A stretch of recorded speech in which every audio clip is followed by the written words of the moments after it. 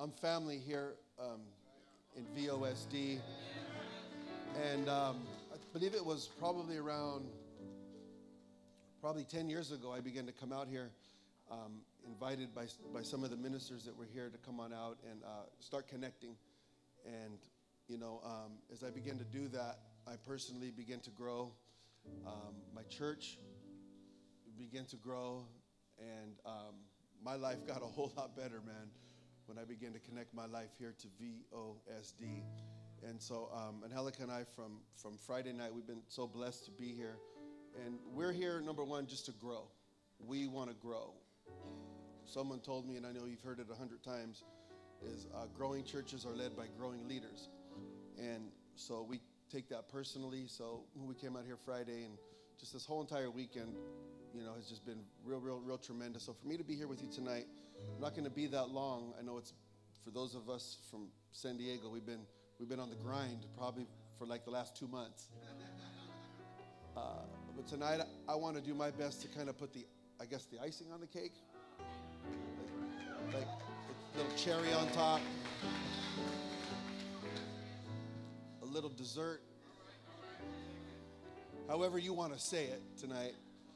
Um, but I really feel that we want to solidify everything that happened this weekend tonight. And I believe the Lord put on my heart uh, a simple, but I hope powerful, powerful teaching, preaching, however you want to put it on your notes tonight, um, uh, to be able to communicate to you. Now, this is something I've I never spoke before. Never spoke before. It's actually two messages that I've worked on. And uh, when I was asked to come and share with you, uh, and I was kind of searching, I kind of married two sermons together. The two shall become one. So that's what you're going to get here tonight. Is that all right? So I want you to turn your Bibles with me to the book of First Kings, chapter 20, and um, go to verse 39. I'm going to read it to you out of the New King, King James Version. Uh, but First Kings, chapter, chapter 20, verse 39 and 40. And um, then we'll get into it here today. Praise the Lord. When you get there, does someone say, I got it? Okay, I still, still hear a few pages turning. 1 Kings chapter 20, verse 39 and 40.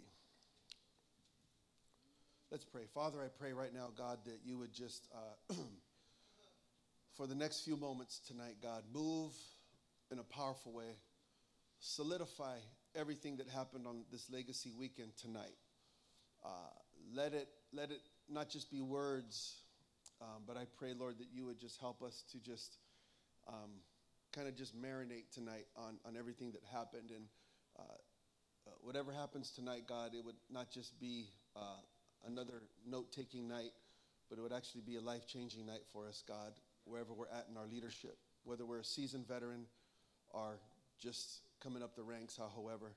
But have your way tonight, God. We thank you and love you. In Jesus' name, amen. The Bible says, Now a king passed by and he began to cry out. And he, and he said, Your servant went out into the midst of the battle, and a man came over and he brought a man to me. And he said, Guard this man. Someone say, Guard this man. Let's, let's turn that around tonight and let's say, Guard that leader. So, if by any means he's missing when I come back, it's going to be your life for his life. Or else you'll pay a talent of silver. And then verse 40 says, While your servant was busy here and there, in other words, the king came back. He said, While your servant was busy here and there, the man was missing. I want to talk to you tonight just for a few moments on some very important principles, simple simple, simple, simple things, but I feel that when you um, and I apply these simple principles to our to our walk with God, um, man, they're they're so everlasting. There are things that I've learned throughout the years uh, in my in my in my journey in, in the Lord. Um, that it's been the simple things that have made a big difference inside of my life those simple things from day one when I went into the when I, when I went into the recovery home. You know, the simplicity of, of a prayer life, the simplicity of a fasting life, the simplicity of being faithful and and all those all those things that we say simple, but yet they're very powerful, powerful principles. In this scripture here today, I know it's only just a few verses that we read, but there is a whole lot going on in this story. What's going on is, is, is they're in the middle of a battle. There's a big battle going on.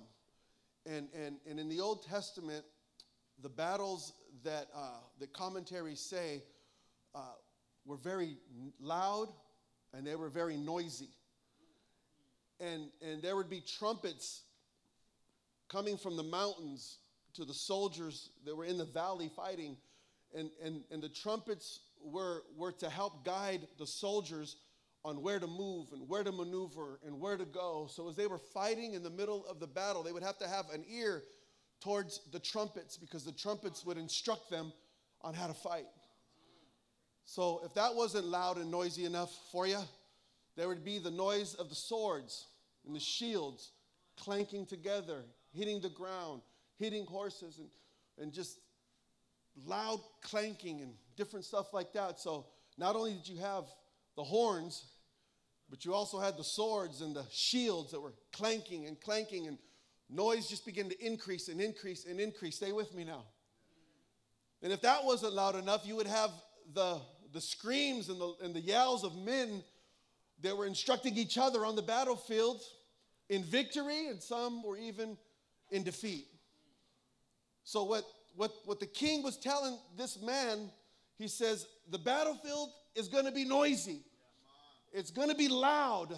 This weekend, come on, somebody, has been noisy and it's been loud, and a lot of things have been happening. There's been a lot of victories that have been, you ain't hearing me today. There's been a lot of victories that have been happening this weekend. Come on, somebody.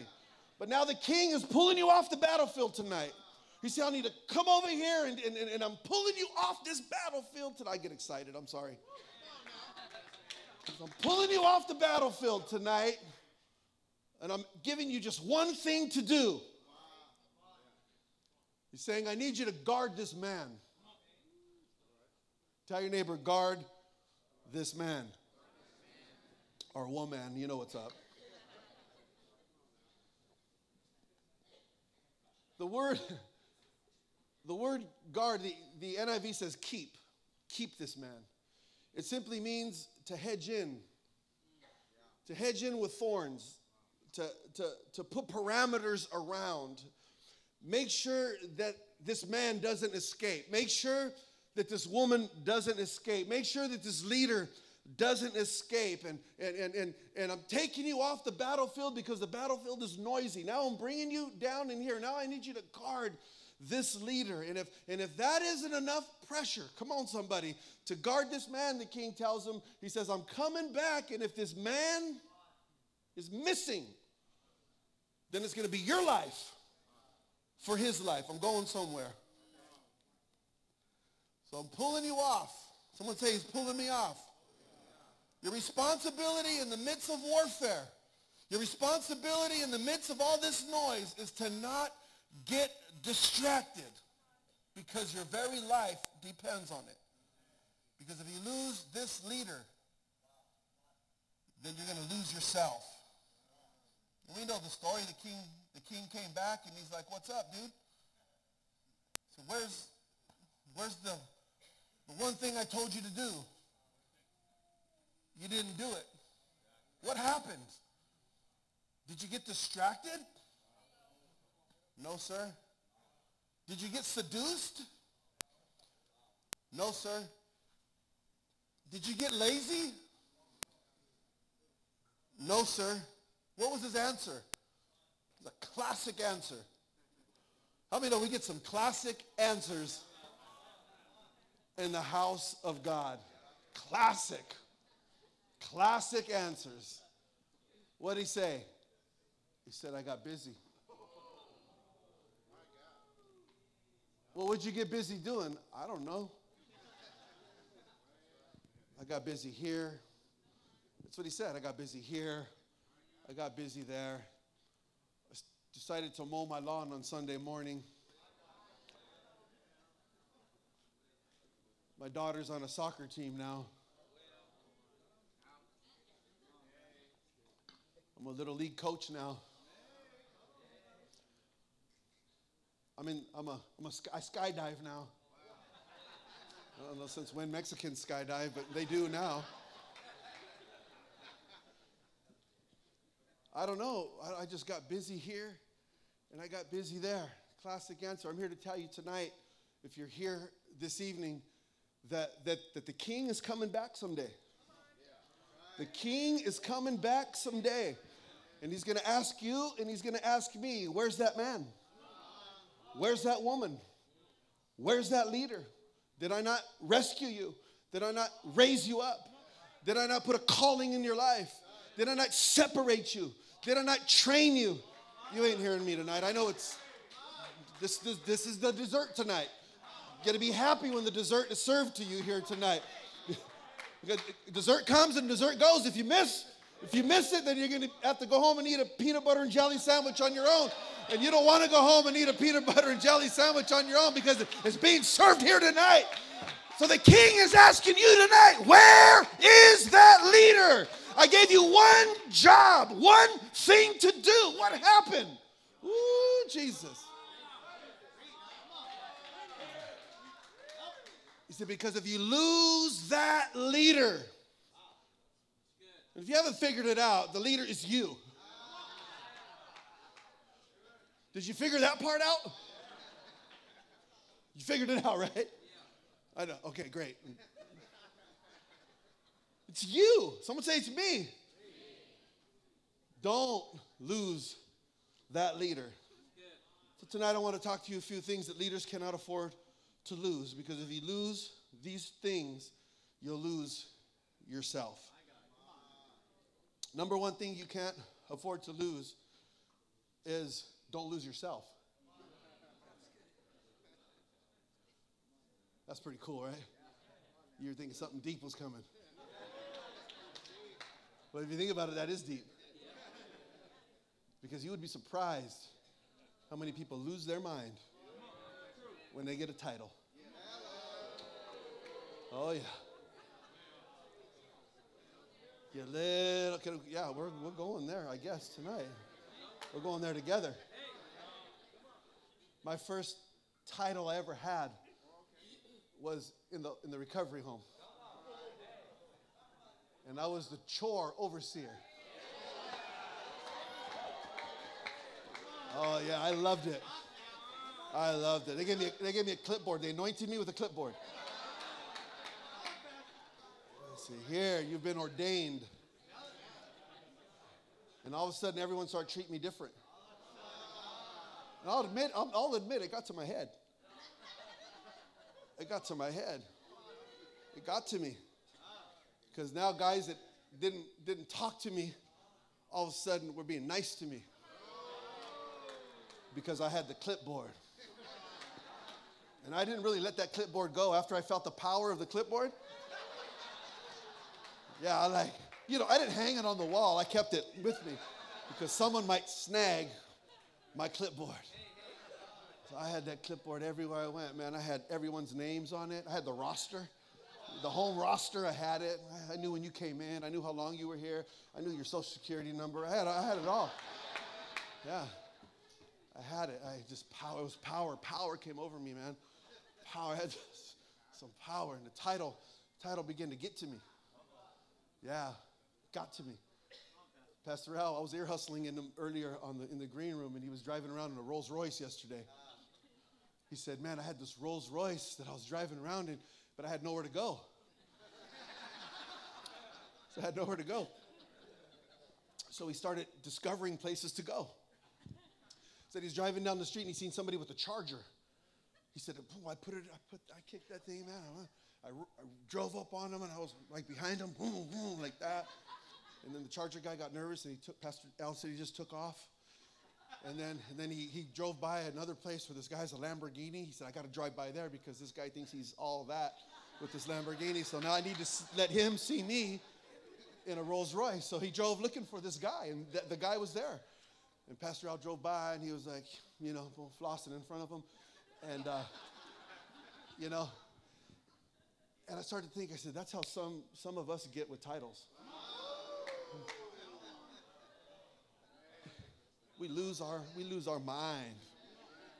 But I'm here to tell you today, my friend, don't lose that leader in your title. Don't lose yourself in that title. I know titles are good, but the titles don't make you. Come on, somebody. Just be yourself. Someone say, just be yourself. Come on, be yourself. Say, be yourself. See, when you lead by title only, you'll lead like a dictator. You'll lead like a control freak. This style of leadership only results in negative outcomes. Someone say amen. Leading by title undermines meaningful relationships. Leading by a title encourages ne- negative political behavior. Leading by a title will crush the human spirit. Leading by a title frustrates creativity and innovation. Talk to me. Leading by a title erodes trust. Leading by a title produces mediocre results. Leading by a title feeds the ego. Leading by a title will destroy empathy for other people. Someone say, be yourself. Don't lose yourself in titles, young leader. You're gonna, I've got like five titles right now. Big deal. Big deal. Big, wow. I mean, I'm not trying to minimize, I appreciate them. And I totally take the responsibility for them. But you understand what I'm saying, right? Like, they don't make me, I don't count on them. Come on, somebody. Yeah, it just gives me an opportunity and a privilege to be able to do something great for God. Tell your neighbor, don't lose yourself. Another thing you could lose yourself in is success. When a leader experiences success, it can be very dangerous. Another thing you can't lose yourself in is failures and difficulties. Mm-mm-mm. See, the difference between leaders of large organizations and leaders of smaller organizations isn't location, isn't buildings, isn't vision, isn't the number of staff members, it e- even isn't the talent of the organization. The leaders of larger organizations have just proven, listen carefully now, to have thicker skin. You gotta have thick skin. See, we need leaders that don't quit every time they're going through things. In the book of Acts, we see explosive growth, overnight growth. And the believers in the book of Acts, they suffered incredible, incredible torture when you read commentaries and do the history from the Roman Empire. They were put on stakes and set on fire. They were torn into pieces and fed to wild animals. They were tortured with holes bored into their heads where they poured hot liquid into them.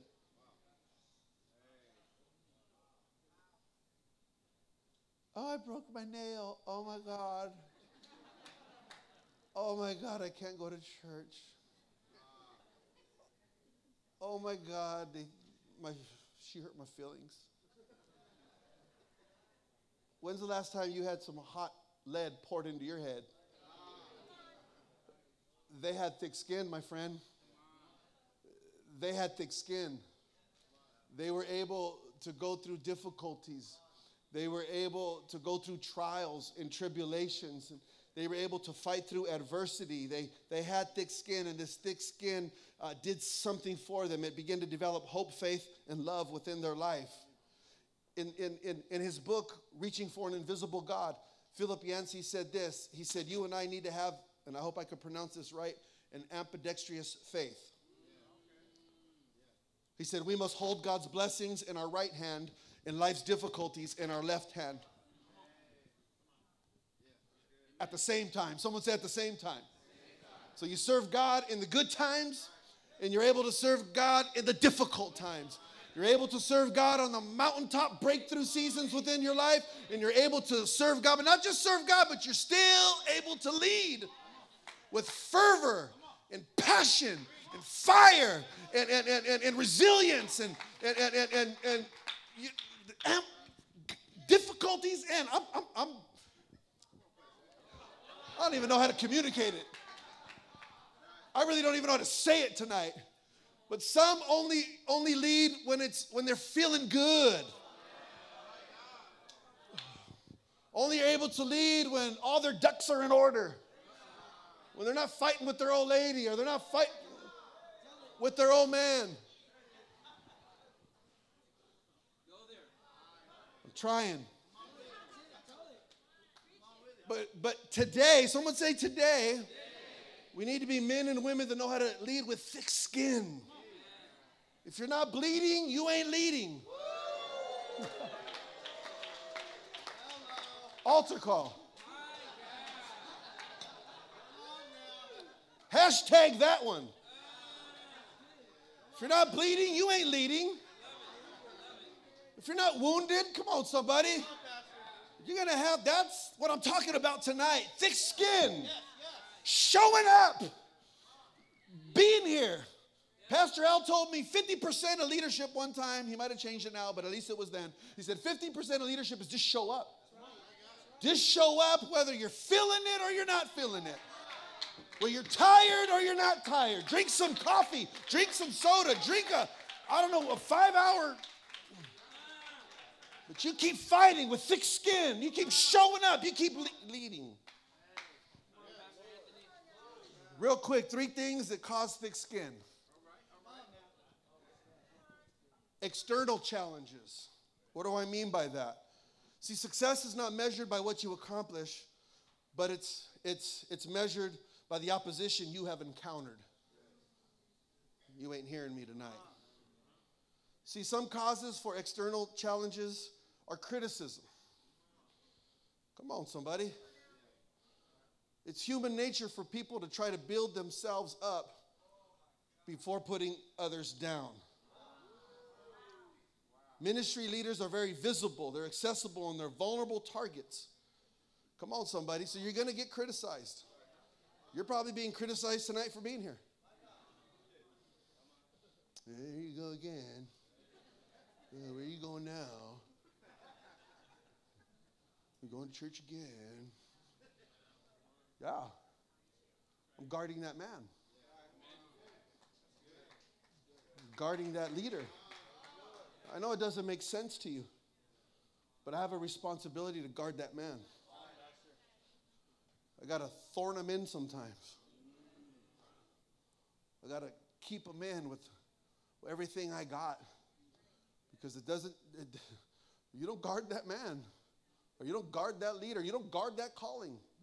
Let's just say, put it like that tonight. I'm guarding that calling tonight. That's what I'm doing here tonight. Yeah, my flesh. Yeah, my, yeah, yeah, yeah. But yeah, I need to get over there.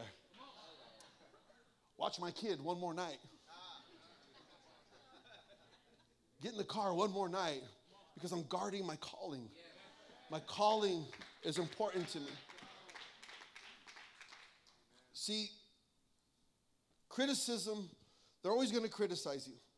They'll criticize you for not caring for those that are hurting. If you're devoted, if you're devoted to those who are who are if you're if you're devoted to those who are sick and make hospital calls. They'll criticize you for not being in the office enough. If you're not if your gifts are administrative. They'll criticize you for this. They'll criticize you for that. No matter what your gift and your style may be, they're always going to criticize you for what you're not. Another external way that God builds thick skin is betrayal. Come on, somebody. I'm not going to get into that much, but you know what's up. If you lead long enough, let me just say this if you lead long enough, you're going to have to endure this deep wound of betrayal. Not everybody's going to be for you. That's why you got to have thick skin. Love. Most people are grateful, but few. Come on, somebody. But few. It only takes a few sometimes to come against you. When those we trusted turn their backs on us, refuse to support you in a time of need, and even withhold love when you need it the most, come on, somebody. That'll grow some thick skin in you. Are there any thick skinned leaders in the house tonight? So there's external, there's some internal things that God uses to build internal things. There's growing pains, paying the price of leadership. Most people assume that growth will relieve stress, but it actually increases stress. And then there's another thing that we can't lose. One of them was yourself. Number two thing you can't is you can't lose yourself in wrong relationships as a leader. I was just thinking about uh, a story in the Bible, Second Chronicles chapter 17 through 20. It's a, it's a story of the life of a guy named Jehoshaphat. And, and Jehoshaphat, like many of us here tonight, started off great. I mean, this guy was the poster boy of righteousness and holiness and uprightness and uh, a guy that, that God used to get, to get Israel back in shape. It was a guy that God used to uh, bring the word of God back into Israel, the, the teachings of the scriptures, the, the, he just to remove idols from Israel and to just do all these great things. He, if there was anybody that was the poster child as a leader, it was, it was Jehoshaphat. And, and, and he started off good. Come on, somebody. He, he, he came to the family life flow. He was there, man. He had his notepad. He even went out to the 99 cent store and bought, uh, bought his own little notepad. and bought all five highlighters for 99 cents. They even, they even sell energy drinks there. He even got one of those snags. He goes, man, I could afford this now. Boom, he grabbed the, I don't know what they call them. They got a weird name for them over there at the 99 cent store. What a, spiders. Spiders? Is that a thing? It's real? Got a spider, got bit by the spider. Came to Sunday night and he was doing good. But one thing he didn't guard he didn't guard his relationships.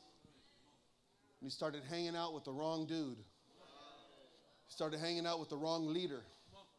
He started hanging out with the wrong church folk. And he started hanging out with the wrong person. And the Bible says he became friends with Ahab, Jezebel's boo.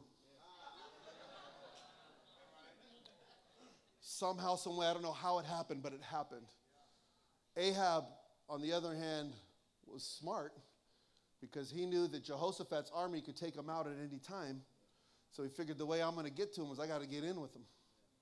So, so, so pretty soon, Ahab's son, if I'm, if I'm not mistaken, married Ahab's daughter. And that was the first mistake. When you start fellowshipping with the wrong, and you start letting the wrong people pour into your life, and you start taking advice from fleshly people, and you start taking advice from those that are not so faithful, Talk to me here because you know what happens. I don't care. It could happen to anybody. It could happen to anybody, my friend. You could start off good. But if you don't guard this area in your life, relationships, the relationships will take you out. And before you know it, he start fellowshipping with Ahab. Start kicking it with Ahab. Started eating California burritos with Ahab. Started, started going to Tijuana with Ahab. Started eating carne asada fries with Ahab. Got into a deal with Ahab. Made a, shook his hand and said, I'm going to fight this battle with you. And, and, and he knew it was wrong. Jehoshaphat, get ready to, we're turning the corner now. We're going to come in for a landing in a minute, but just stay with me. Wrong relationships. Because if you don't guard this area of your life as a leader, then eventually the king is coming back and he's going to ask you, Where's that man? You're going to say, Oh, he took off with Ahab. And he made a deal, shook his hand, and, and, and Jehoshaphat knew in his heart of hearts that it was a wrong deal. But he, he felt bad because he had promised him he was going to fight with him. And it almost took out his life. All because he began to fellowship with the wrong person. Crazy, right? I think that's important for us here tonight. Young leaders, up and coming leaders, no matter where you're at in your leadership, it's important that you guard those relationships. There, there is just some, you know, you don't have to be cold about it. Some you might have to be, but you just got to be smooth about it. Listen, I got homeboys back in my neighborhood that are hurting. They're still, they're still out there. But my wife will tell you, I'm not hanging out with them. I'll show up. I run into them all the time. I don't need to be at the, in the garage.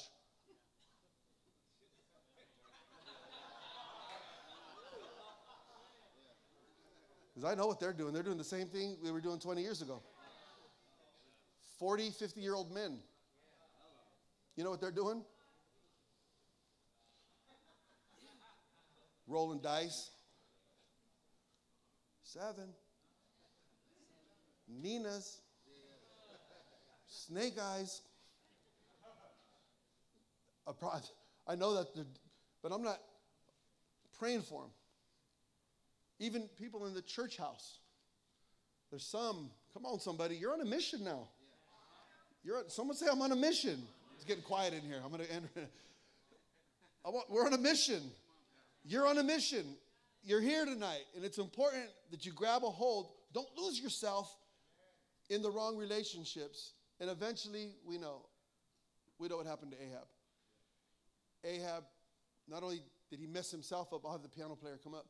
Not only did he mess himself up, not only did he mess himself up, but if you read it, it, it messed up his children, it messed up his grandchildren. Generation, the Bible says, after generation after generation after generation was tainted. All because he didn't guard this man. Another thing we can't lose here tonight in this journey on our leadership is we cannot lose our gratefulness. Simple, I told you. Don't lose yourself. Don't get caught in the wrong relationships. But also, don't lose your gratefulness. First time they asked you to lead. Remember that? The first time they asked you, hey, can you can you help out? Can you oversee this? Can you come to the leaders meeting? Remember that that little feeling you got inside that was that was like me? Me? Yeah, pastor pastor asked, or brother so and so asked, or sister so and so asked if you would come be a part of this. And then something inside, some were bigger tasks. I'm talking about that small task at first, that little thing at first, when you were like, oh man, yes, yes. And then this party says, What are you doing, dummy? No. Then the flesh kicked it, No. And then the, something inside, deep inside of you, that tugging, the call, the, the Holy Spirit, the confirmation, because you know that everything that you've been through, all the altar calls that you made, all the stuff that you've been through, was finally, finally something was happening within your life. And you said, Yes. And then it was such a joy. I'm trying to remind you a little bit, trying to like that that joy and then that that that gratitude came in and and it was just it was like a I don't know. It was like something happened to you. Sparked up in your life. But if we're not careful, as time goes on, you can lose yourself.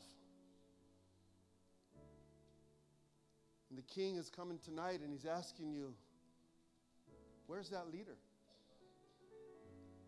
Right now, he's walking around some of these tables and he's looking at you eyeball to eyeball. And he's asking you, Where's that leader? I told you I was coming back. Where's that leader? Where's that joy? Where's that heart of gratitude? What happened? And then you say, I don't, I don't know what. He was just here a minute ago. But I just got busy. I got busy doing this. Then I got busy doing that. And it doesn't happen overnight, but then you begin to, you, some of us have drifted. Physically, we're here. Physically, we are here, yes. Yes, you are attended for. Yes, you are present. Physically. But is your heart here? Is your heart really here? Is your, is your mind totally here? Is your spirit really here? Is, are you still here? Little by little. I've been there, man. That's why this message, I've been there. I lost my mind. Be honest with you. I lost, yeah, man. They gave me a title. What did Pastor Chris say? Regional pastor. Well, in 2011. It was a crazy year for me, man. And it's good, you know, like, yeah, yeah, yeah, cool. Regional pastor. And then I met, I met my wife in 2011. So somebody said, You got a region and a rib.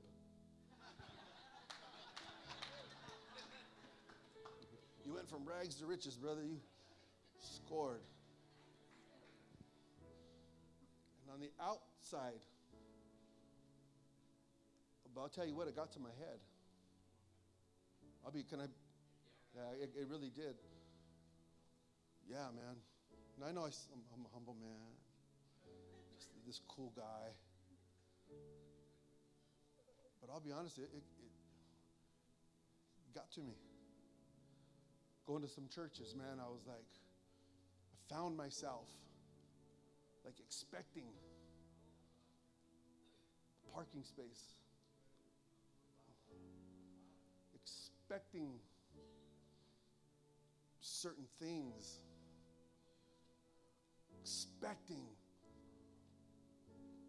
certain food. Yeah, it's weird, right? It sounds weird now when I say it out loud, but I'm being totally honest. I'm being totally honest right now. It, it, certain stuff, man, and and I got I drifted away I just drifted away, man. And I don't know how or when it happened. But it wasn't anybody that had to confront me. But it was, it was the Holy Spirit that had to check me. And that, that's why this, he said, Where, where, where's Anthony? He said, I told you to guard him. I gave you one job to do I took you off the battlefield tonight. I brought you away from the noise tonight. I took you out of your church. I took you away from all your responsibility. I, I worked it all out for you to be here tonight to ask you one question Where is that leader? Oh, man. Tonight, some of us need to get them back. Some of us need to get them back. And the way we're going to solidify this weekend tonight is we're going to have a little bit of prayer. We're going to have a little bit of prayer. Want to really marinate our hearts and our spirits. Everything that happened Friday night, Saturday morning, this morning, and even tonight. Just a little cherry on top for you. You know why? Because you're going to get, you, some of us are getting back that man tonight. Can we play something? Can we, what are we going to do? They got it, Marky? Just, play. Just close your eyes right where you're at. Just we're gonna we're gonna do something in a minute, but it's already it's 8:15.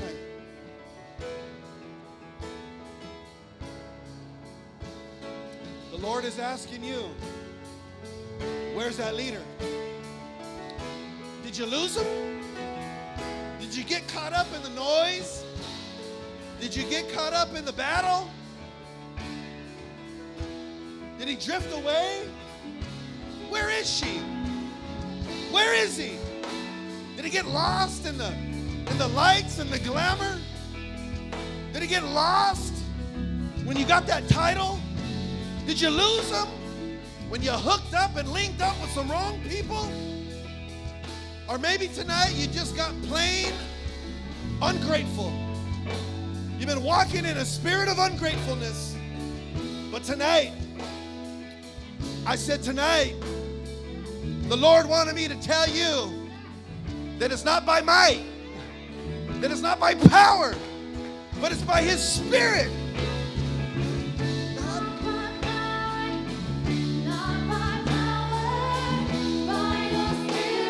That you're going to get them back.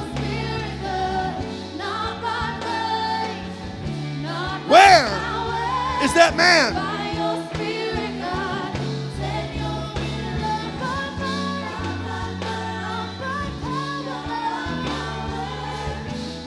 Did you lose them?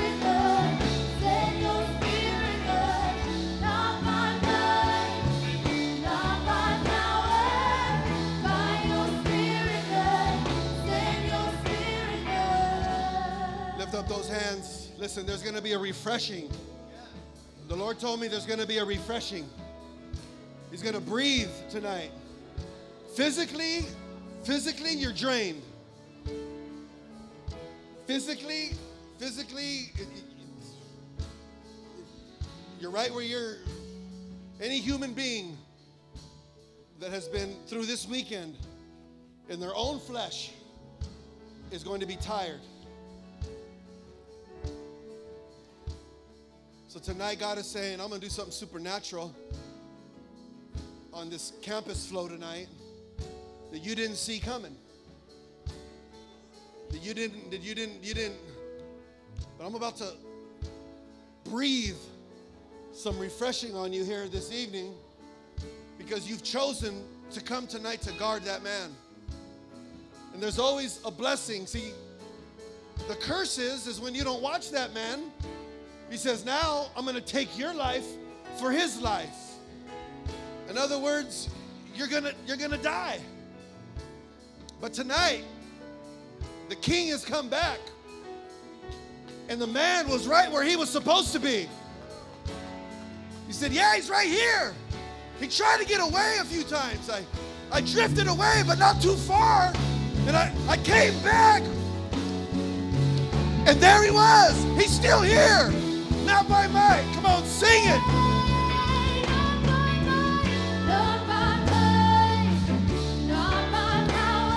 Guard that leader.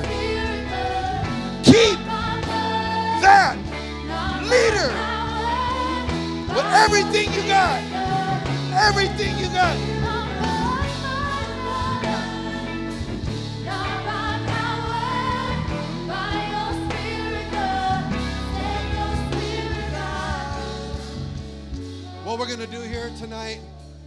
Is this, and I know there's limited room here because of tables, but I really feel in my heart that for the next five minutes, we're going to turn it into a little prayer meeting. Yeah?